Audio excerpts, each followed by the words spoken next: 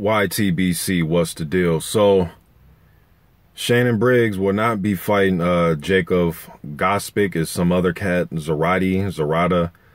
You know, at this point with uh, Shannon Briggs, man, I just want this weekend to get over as far as uh, the thing that um, him and David Haye has going on. You know, if they really want to fight each other, man, they should have just made the fight for May 21st. You know, I understand Arnold Jai is 29 and no uh, guy of Switzerland.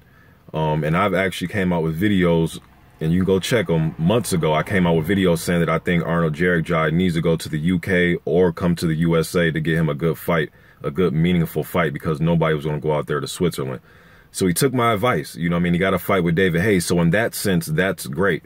But as far as us, the fans, though, man, we were getting, you know, pulled around by our collar, man, with this whole uh, who Shannon Briggs' opponent is going to be. I like Shannon Briggs. Hell, I have Shannon Briggs on my intro, you know, for my channel.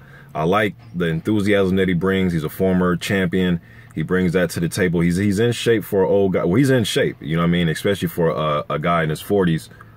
Um, but, you know, these...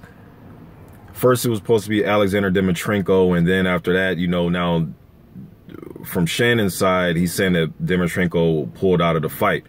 Um, Dimitrenko had even even came out. I seen on one site saying he's going to knock Shannon Briggs out, and then May 3rd he came out with something on his Twitter saying that uh, the fight's not going on. So then it was this Jacob Gospic guy. Um, I reported that because I heard it from Fight News that he was a possible opponent. I didn't say it was written in stone. I said it was a possibility. Um, then that got pulled, and then now I'm seeing Zor uh, Zarate. Um, I heard that name's a journeyman guy, but I almost want to say this should just give Gjergjaj some step aside money, man. Like literally, let him fight like Dillian Whyte or Tyson Fury or something like, or not Tyson Fury, but Hughie Fury or something like that. Actually, that'd be a good fight. Hughie Fury versus uh, Arnold Gjergjaj. That that would have been a good fight. And they could have just had Shannon Briggs versus David Haye. That's what they should have done. But um, neither here nor there, man. Briggs going against Zarate. Hope I'm pronouncing his name right. I expect Briggs to knock him out within a round or two. Pretty much. David Haye. I expect him to get Arnold Jai out of there. Now, Jai does have a good right. He now he has the size, man. This isn't just he isn't a complete, complete chump like some fans make out to be. Um, he does have a good right hand, and he can be fleet on his uh, feet when he wants to. Depends what kind of shape he comes in at. When I seen him fight at two, I think he was like 230, 228 or something like that. He looked pretty mobile for a big guy you know, but it was a fight where he was fighting downhill. He didn't really have anything to worry about coming back at him. Um, but I expect David Haye to beat him because I think David Haye is is on a higher level, and there's levels to this shit, and I think David Haye is just a better fighter. Um, Gjergjaj, like I said, he needs to be more in a fight where he's trying to prove himself to get a big fight. Just 29 and 0 to me just isn't enough.